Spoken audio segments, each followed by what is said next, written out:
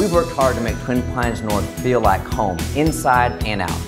You'll find an abundance of natural light making the facility feel warm and cozy. You'll enjoy our intimate conversation and seating areas inside, and when you want to journey outside, you can enjoy the walking paths across our beautifully landscaped grounds.